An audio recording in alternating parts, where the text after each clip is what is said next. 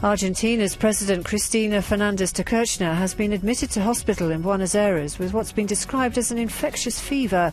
Only last month, the 61 year old, who's in her second term as president, took several days off with a sore throat. This latest bout of ill health also follows brain surgery a year ago.